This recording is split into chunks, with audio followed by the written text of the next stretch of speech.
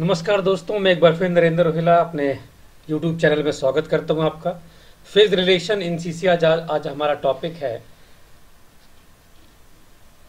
दोस्तों, आज का हमारा जो विषय है, वो है सीसी में फ़ेज़ रिलेशंस फ़ेज़ रिलेशंस ये एक कंसेप्ट नया नहीं है, इसको डीडी से पहले भी इस्तेमाल किया गया है। अब क्वेश्चन ये है कि why phase relation is required तो दोस्तों, ऐसा है फ़ेज़ रिलेशन की आवश्यकता क्यों पड़ी? इस कंसेप्ट का कंसेप्ट डॉक्टर रघुनाथन जी ने सीसी में इसका क्यों इस्तेमाल किया? इसको हमें समझना होगा। दोस्तों, हम जानते हैं कि लाइब्रेरी में कोई भी पुस्तक या बुक अधिकतर विषय अनुसार ही रखी जाती है, जिससे लाइब्रेरी यूज़र इस पुस्तक को विषय के अनुसार सब्जेक्ट के अनुसार वहाँ से उठा सके और उसको इस्तेमाल कर सके।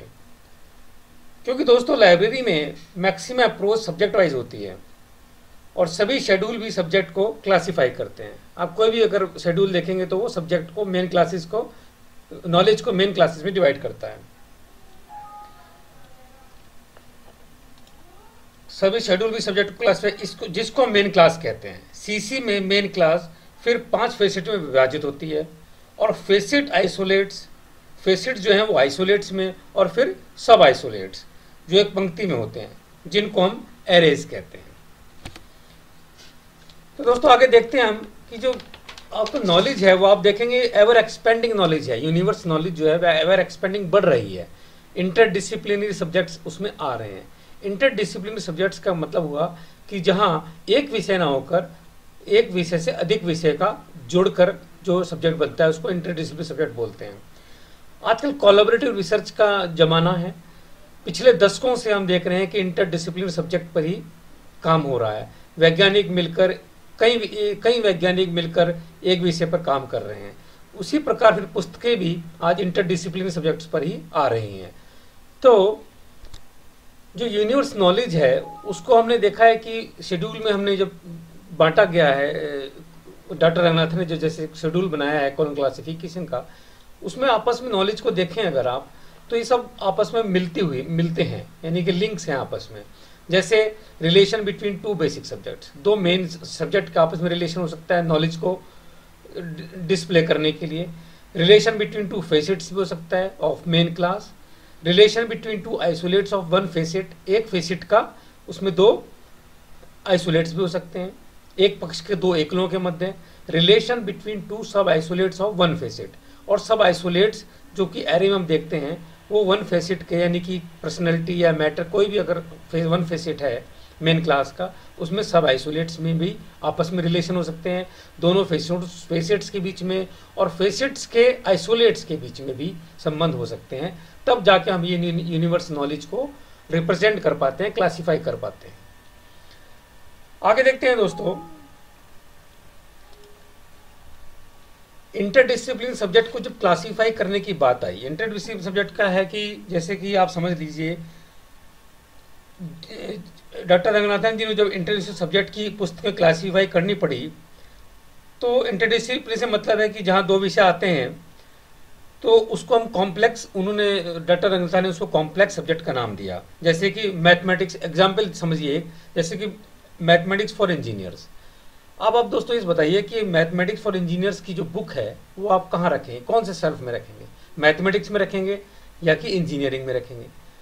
तो इसमें हम कन्फ्यूज़न आता है। अगर इसमें तो इसी कन्फ्यूज़न को ख़त्म करने के लिए डॉक्टर रंगनाथन ने एक नई डिवाइस पैदा की, यानी नया एक टेक्निक निकाली उन्होंने, जिसको कि उन्होंने नाम दिया था फ़ेज़ रिलेशन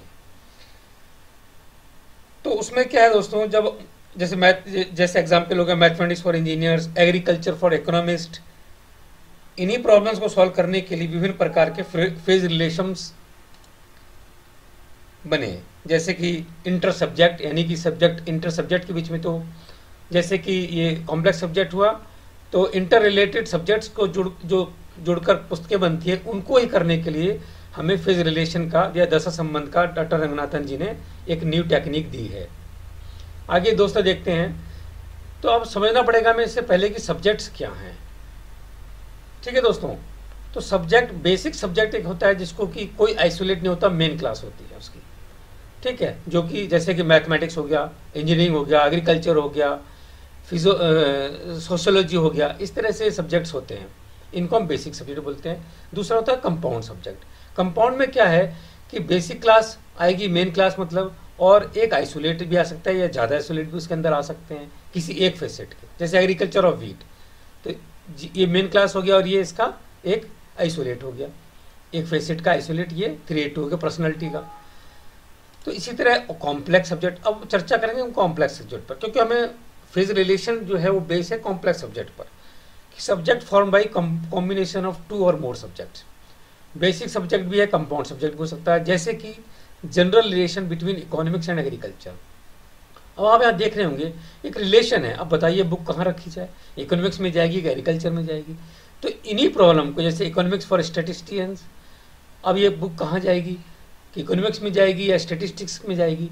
तो इस तरह की जो प्रॉब्लम्स फेस करनी पड़ी, उसके लिए फिर ये फ्रेज रिलेशंस बने और उनके उनके उनके संयोजी चिन्ह बने और उस संयोजी चिन्ह को जोड़कर फिर हम इनको बनाते हैं। अब आगे देखिए दोस्तों फ़ेज़ रिलेशन दशा संबंध जैसे मैं दिखा रहा हूँ आपको एक एनिमल ऑब्जर्विंग मेन क्लास है। इसको बेसिक सब्जेक्ट बोल सकते हैं आप। और ये जब इसके एक आइसोलेट से मिल गया, ठीक है, ये आइसोलेट्स हैं इसके आइसोलेट से जब ये मिल गया तो ये बोल गया कंपाउंड सब्जेक्ट बन गया। ठीक है दोस्तों? और इन सबको हम क्या बोलते हैं? जब कॉम्बिने फ़ेज़ रिलेशन यानी कि सब अगर रिलेशन यानी कि ये भी फ़ेज़ हो गया, ये भी फ़ेज़ हो गया, ये भी फ़ेज़ हो गया, ये भी फ़ेज़ हो गया। अब इनके रिलेशन जब सब्जेक्ट यानी कि टाइटल बनाएँगे तो इन सब का जो जोड़ होगा, वो एक रिलेशन उसको हम बोलेंगे फ़ेज़ रिलेशन अब अब बात करते हैं हम कॉम्प्लेक्स सब्जेक्ट की, जिसको हम जटिल विषय बोलते हैं. तो जटिल विषय में दोस्तों क्या है कि दो मेन क्लास भी हो सकती हैं, दो सब्जेक्ट इंटरलेटेड भी हो सकते हैं. एक फेसिट के, एक फेसिट जैसे फेसिट हो गया, इसके इसके अंदर आइसोलेट्स भी हो सकते हैं, जैसे ये आइसोलेट्स हो गए. और आप देखेंगे कि एरे ये एरे हो गया, इनके बीच में भी रिलेशन हो सकता है। ठीक है दोस्तों तो मेन क्लासेस के बीच में भी, एक फेसेट्स के आइसोलेट्स के बीच में भी, और एरेज के बीच में एरेज के जो सब आइसोलेट्स हैं, उनके बीच में भी रिलेशन बनाकर हम कॉम्प्लेक्स सब्जेक्ट यानी जटिल विषय के, इस विषय के टाइटल बना सक, बनाते हैं। इसलिए फ़ेज़ रिलेशन की आवश्यकता हमें पड़ी। आइए दोस्तों टाइप्स ऑफ़ फ़ेज़ रिलेशन समझते हैं। There are three types of phase relation the relation में भी बिटवीन किसी, देखो अंतर वर्ग दशा संबंध, यानी कि सब्जेक्ट इंटर सब्जेक्ट्स इंट्राफेसिट यानी कि अंतर पक्ष दशा संबंध, यानी कि पक्ष, यानी कि फेसिट्स वो कौन से हो सकते हैं? Personality management sorry matter energy time सब स्पेस आइसोलेट्स तो ये सब क्या है? ये फेसिट्स हो गया। इनके इनके किसी आइसोलेट्स के बीच में इंट्रा एरे यानी जैसे मैंने बताया कि एरे जो होते हैं उनके उनके अंदर बीच में जो सब आइसोलेट्स हैं उनके बीच में भी संबंध हो सकता है। तो इस तरह के ये रिलेशंस हो सकते हैं। अब आगे आगे देखते हैं दोस्तों काइंड्स ऑफ़ फ़ेज़ रिलेशन यानी फ़ेज़ रिलेशन किस पर, कितने प्रकार के हो सकते हैं। तो कोलन क्लासिफिकेशन में प्रत्येक प्रकार के दशा संबंधों यानी फ़ेज़ रिलेशनों में पाँच प्रकार के संबंध बताए गए हैं। जिन्हें तो जोड़ने के लिए संयोजित चिन्हों का प्रयोग किया गया। इन चिन्हों से पहले ज़ीरो को जोड़ा जाता है। देखिए काइंड ऑफ़ फेजरेशन यानी संबंध की प्रकृति क्या है? जनरल हो सकता है बायस हो सकता है कंपैरिजन हो सकता है डिफरेंस हो सकता है इन्फ्लुएंस हो सकता है। ये पाँच प्रकार के संबंध हो सकते हैं, दशा संबंध। ठीक है?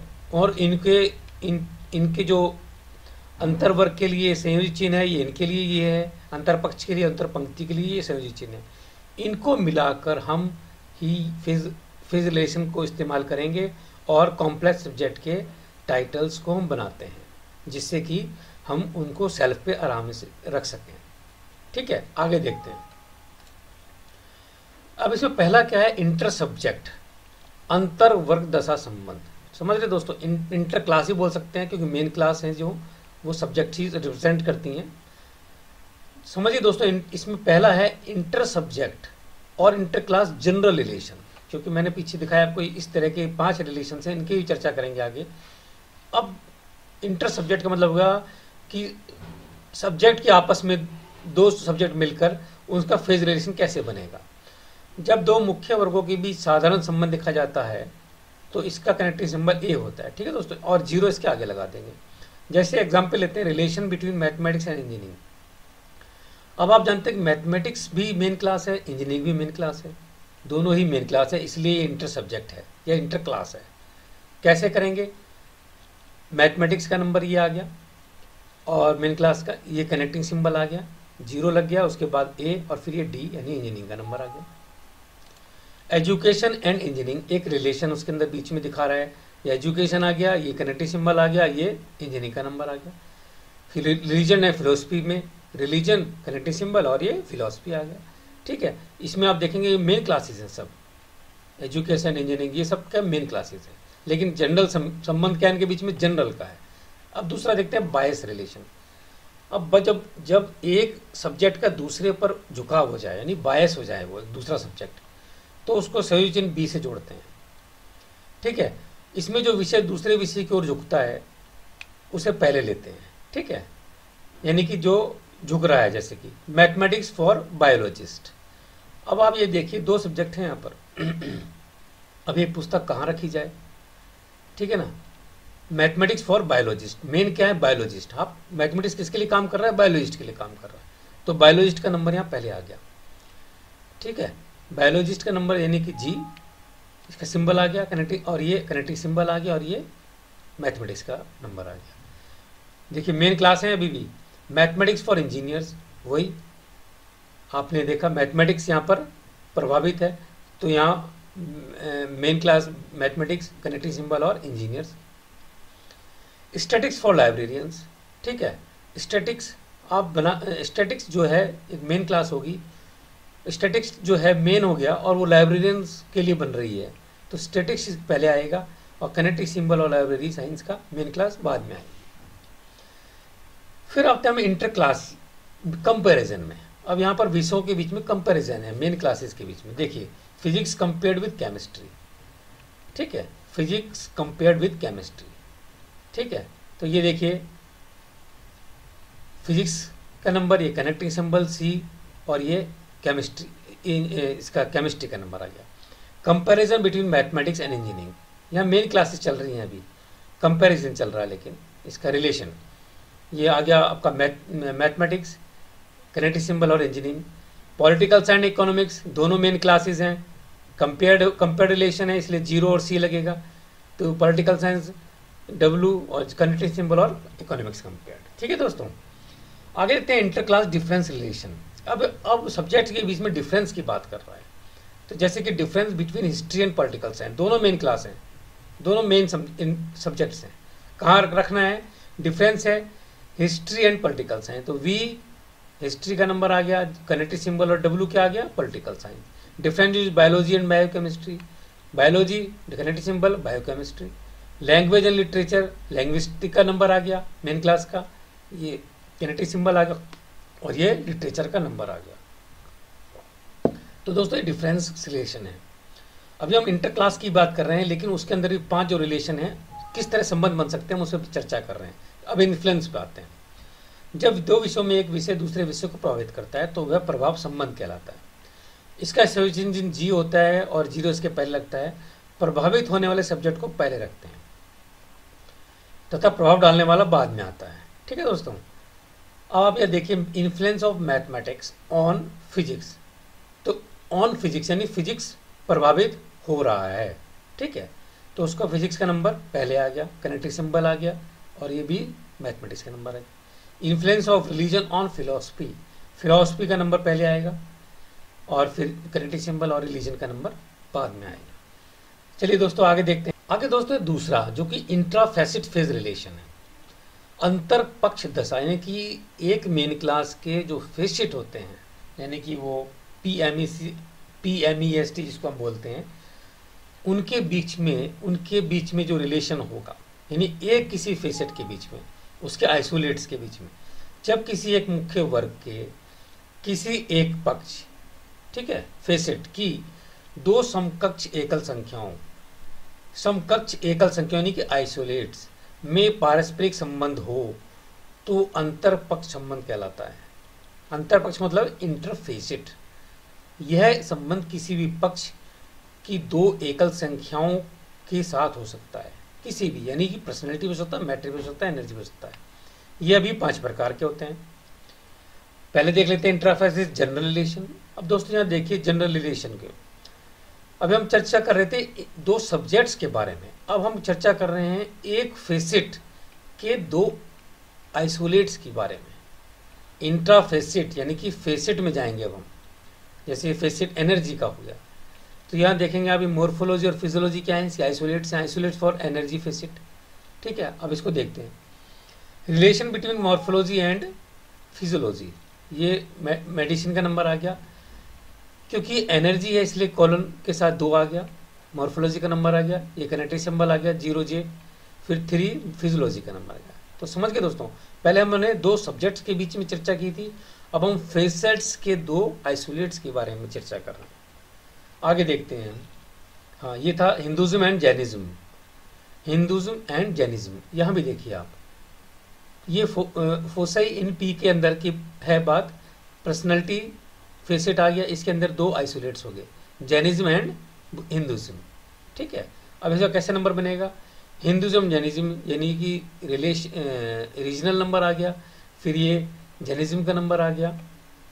यहाँ से देखिए सॉरी हिंदुज़म का नंबर आ गया और फिर ये कनेक्टिव सिंबल के बाद जेनिज्म का नंबर आ गया, ये देखिए तो दोनों आइसोलेट्स हैं। अब यहाँ पर मेन क्लास की चर्चा नहीं है। अब है किसी फेसेट के, किसी फेसेट में जाकर उनके आइसोलेट्स उसमें एक बायस रिलेशन भी है। जैनिज्म बाइज्ड हिंदुज़म ठीक है?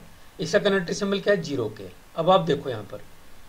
ये जैनिज्म हो गया आइसोलेट है, ये हिंदुज्म आइसोलेट हो गया। ये बायस कर रहा है, यानी Jainism bias Hinduism Jainism bias हो रहा है, इसलिए इसका नंबर पहले आएगा। यहाँ जैसे लगाया, रीजन रिलीजन का नंबर आ गया जैनिज्म का नंबर आ गया कनेक्टिव सिंबल और हिंदुज्म का नंबर आ गया। जो बायस होगा, उसका पहले आएगा। फिजियोलॉजी फॉर पैथोलॉजिस्ट यहाँ देखिए, मैं दिखाऊँगा आपको नहीं है इसमें। ये बायोलॉजी का नंबर आ गया, उसमें ये फिजियोलॉजी का नंबर आ गया। ठीक है? और फिर ये कनेक्टिव सिंबल और ये पैथोलॉजिस्ट का नंबर आ गया। ठीक है दोस्तों? तो फिजियोलॉजी फॉर पैथोलॉजी इस तरह से बायस रिलेशन वालों में हम इस तरह से बनाएँगे। अब आते हैं इंट्राफेसिट कंपैरिजन रिलेशन ठीक है, यहाँ पर कंपेयर होगा इंट्राफेसिट्स के आइसोलेट्स के बीच में। Comparative study of study of Indian and American laws ये लॉज हो गया, ये आइसोलेट दो हो गए, देखिए।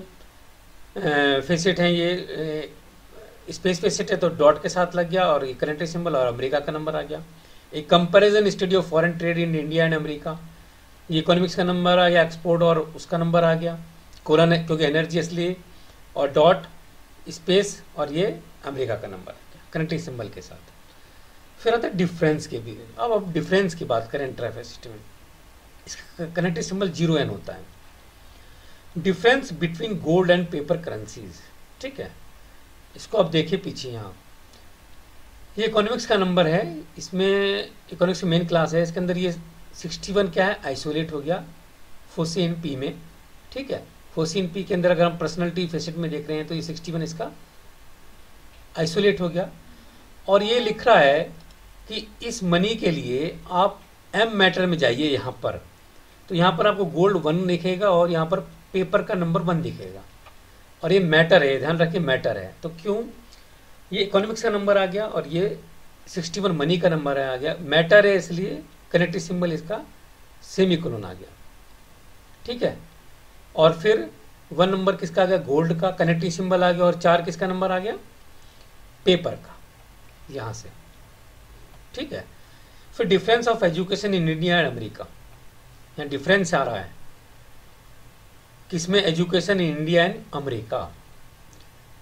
Facets की बात हो रही है, आप देखिए यहाँ पर। इंडिया भी फेसिट हो गया, अमेरिका भी फेसिट हो गया। तो ये एजुकेशन का नंबर आ गया, ये फेसिट लग गया डॉट के साथ और ये अमेरिका का आ गया, बीच में कंट्री सिंबल आ गया। इंट्राफेसिट इन्फ्लुएंस रिलेशन, अब प्रभाव करने वाले के लिए क्या है? ज़ीरो और आर का है। प्रभावित होने वाला एकल पहले रखा जाता है और प्रभाव डालने वाला एकल बाद में आता है। तो influence of drug on cattle influence of drug यानी किसका इन्फ्लुएंस है?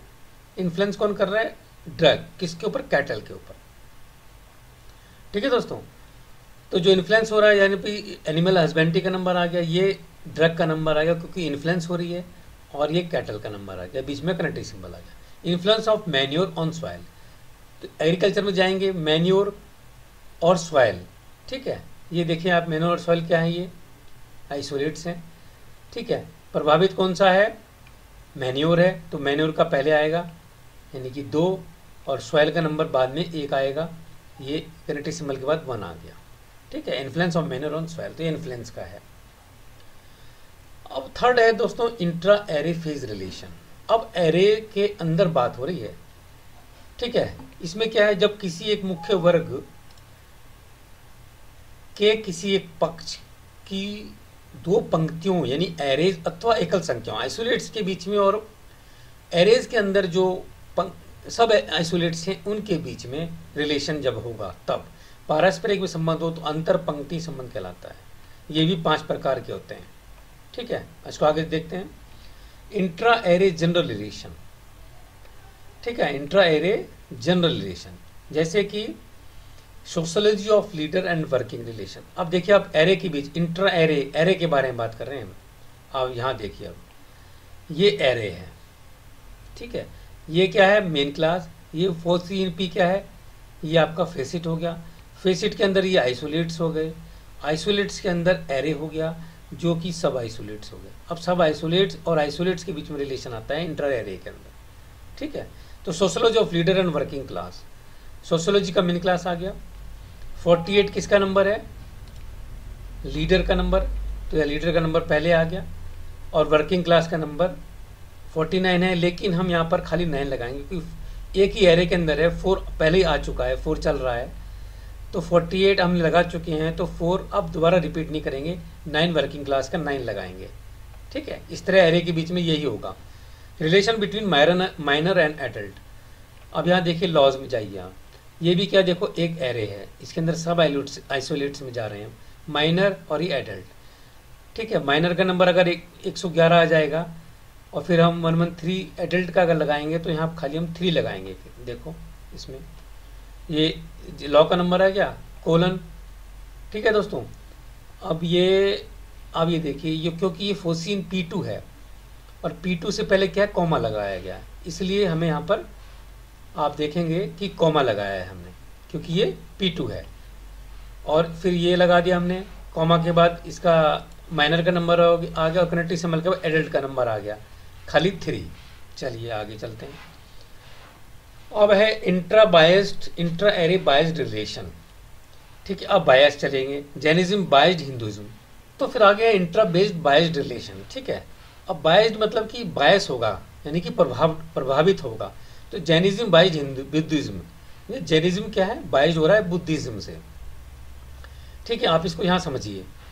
ये जैनिज्म का नंबर ये भी आइसोलेट है और ये भी आइसोलेट है, लेकिन किसी एक फेसेट के अंदर होगा ये। ठीक है? वही, समझ रहे ना? पर्सनैलिटी जैसे है। तो हम कैसे इसका नंबर बना रहे हैं? ये रिलीजन का नंबर आ गया थ्री जरिज्म का नंबर आ गया कनेक्टिव सिंबल आ गया ज़ीरो यू और फोर आ गया इसका बुद्धिज्म का number. Clear rural sociology for urban अब यहाँ देखिए आप इसको। सोशोलॉजी है, ये देखिए एरे के अंदर की बात हो रही है। सब आइसोलेट्स अब ना फेसेट के बीच में, ना इंटर क्लास के बीच में, अब एरे के बीच में बात हो रही है। ये रूरल का नंबर हो गया और ये अर्बन का नंबर हो गया। अब देखिए कैसे बनाइए रूरल सोशोलॉजी फॉर अर्बन ये सोशोलॉजी का नंबर आ गया। ये आपका रूरल का नंबर आ गया थ्री वन। अब थ्री, अर्बन लगाने के लिए हम थ्री थ्री लगाएँगे, खाली थ्री लगाएँगे। ये देखिए, थ्री नंबर आ गया, ठीक है? तो ये कंप्लीट इसका नंबर बन गया। इसी में आप आइए दोस्तों कंपैरिजन रिलेशन अगर है तो। Comparison between Hindi and Punjabi literature literature का नंबर आ गया, ये हिंदी का नंबर आ गया, फिर कनेक्टिव सिंबल और ये फिर थ्री किसका नंबर आ गया? पंजाबी लिटरेचर का नंबर आ गया। लेकिन खाली यहाँ पर वन फाइव थ्री ना आकर थ्री आया। क्योंकि एक ही एरे के अंदर है। फिर आता है comparison between lecture and discussion method of teaching अब यहाँ देखिए इसको। ये टीचिंग यहाँ आप देखिए फोसी इन ई में है। ठीक है, ये एनर्जी हो गया, इसका तीन नंबर है। फिर ये लेक्चर और मेथड का आप देखेंगे, ये एक एरे के अंदर है दोनों। ये नाइन सेवन है और ये नाइन एट है। नाइन सेवन तो लगेगा, लेकिन यहाँ पर एट लगेगा बस। देखिए एजुकेशन का आ गया कोलन के साथ थ्री आ गया, क्योंकि एनर्जी था। कॉमा ठीक है। फिर नाइन सेवन किसका नंबर आ गया ये? नाइन सेवन आ गया लेक्चर मेथड का। और फिर नाइन एट नाइन एट के लिए यहाँ पर खाली एट आ जाएगा। और ये बीच में कनेक्टिंग सिंबल आ गया। तो ये कंपैरिजन था इंट्रा एरे अब आगे चलिए दोस्तों। डिफरेंस को देख लेते हैं इंट्रा एरे डिफरेंस को। जब किसी मुख्य वर्ग के एक पक्ष की दो पंक्तियों अथवा एकलो संख्याओं में अंतर संबंध है तो वह अंतर पंक्ति अंतर संबंध कहलाता है। देखिए दोस्तों difference between education of genius and idiots आइए यहाँ पर। ये एजुकेशन हो गया, ये मेन क्लास होगी टी हो गया इसका फोसिन पी हो गया, यानी कि एक फेसिट हो गया। फेसिट के अंदर ये आइसोलेट्स हो गए, उन आइसोलेट्स के बीच में एरे हो गया, और एरे के ये सब आइसोलेट्स हो गए। ठीक है? अब इस पर हम देखें कैसे नंबर बना। Difference between education of genius in idiots education का नंबर आ गया। सिक्स वन किसका नंबर आ गया? अब देखो जीनियस का नंबर आ गया। Six one. अब सिक्स टू आएगा तो यहाँ पर टू आएगा खाली। सिक्स नहीं आएगा।